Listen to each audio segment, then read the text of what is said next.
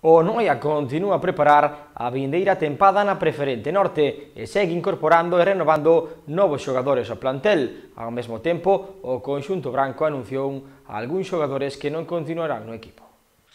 Novas incorporacións no Noia da preferente norte para a vindeira tempada. O conxunto do Borbanza segue a traballar para ter unha plantilla competitiva e poder situarse nos postos altos da competición. Fai uns días, O club Noyés anunciaba a fichaxe de Anxo Vidal, xogador de banda esquerda que estaba no Boiro a tempada pasada. Igualmente do Boiro, pero de xuvenís incorpórase Felipe, que anotou nada menos que 21 goles na campaña anterior.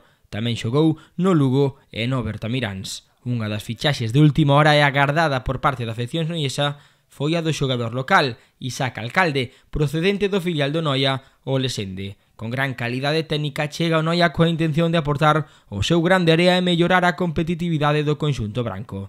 No campo das renovacións, o equipo que dirixirá Iván Carril xa anunciou que Rivas ou Quintairos continuarán xogando en San Lázaro, ao igual que Rendo ou Nando Queiruga, un dos xogadores clave do equipo.